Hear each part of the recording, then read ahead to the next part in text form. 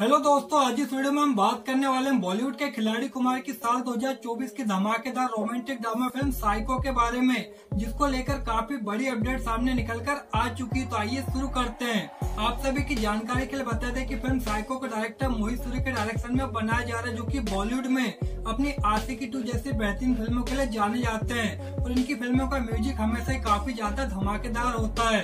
अगर बात करें फ़िल्म की शूटिंग के बारे में तो बताया जा रहा है कि फ़िल्म की शूटिंग को 2024 की स्टार्टिंग में शुरू कर दिया जाएगा। और इस फ़िल्म की शूटिंग लगभग डेढ़ से दो महीनों तक चलने वाली है।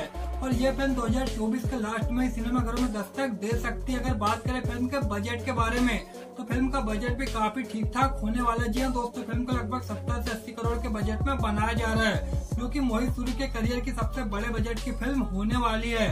अगर बात करें फ़िल्म के रिलीज़ डेट के बारे में तो फ़िल्म काफ़ी जल्दी सिनेमाघरों में दस्तक दे सकती तो आप सभी सुपरस्टार अक्षय कुमार की फ़िल्म साइको को देखने के लिए कितना एक्साइटेड आप सभी को क्या लगता है? ये फ़िल्म बॉक्स ऑफ़िस पर आते ही सारे बड़े रिकॉर्ड तोड़ देगी। आप सभी की राय में कमेंट करके ज़रूर बताइए। और अगर अभी तक चैनल को सब्सक्राइब नहीं किया तो सब्सक्राइब ज़रूर करें।